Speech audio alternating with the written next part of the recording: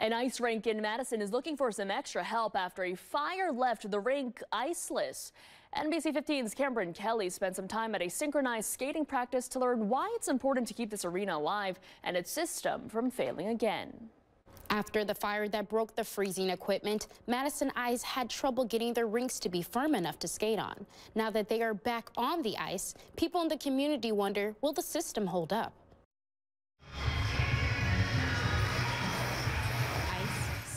And friendships come to mind when people think of a local rink in Madison. The friends and like the relationships you make with other teammates from different areas. Madison Ice lost power last week, which led to a mechanical fire. While no one was hurt, the damage was done to the freezing equipment. As the technology continues to age, there's more risk to permanent loss. Skaters in the area hope their rink stays afloat.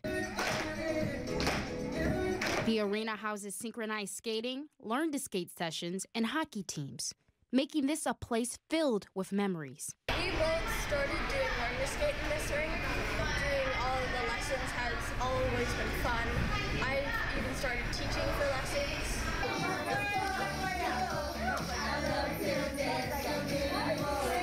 Coach Emily Deemer says the fire was a wake up call. Not only did she want to help her teams, but also a place that many call home. Deemer started a GoFundMe. Emily and Bailey have been doing really amazing stuff for us, making this program and just making us better skaters overall. Yeah.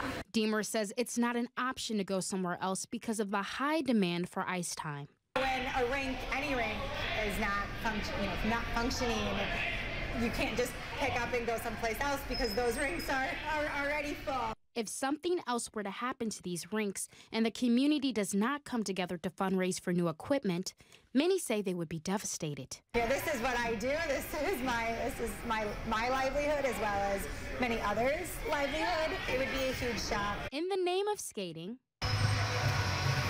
the community is hoping to keep the arena around for many more years. The GoFundMe raised almost $8,000 in three days. For more information on where to help, visit NBC15.com. In the studio, Cameron Kelly, NBC 15 News.